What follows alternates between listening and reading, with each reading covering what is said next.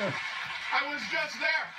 I got here as quickly as I could, but it was hard with the balloons and the confetti and all the champagne in my eyes. I was bouncing off walls to share the fantastic news. They're getting a lot of credit for their championship.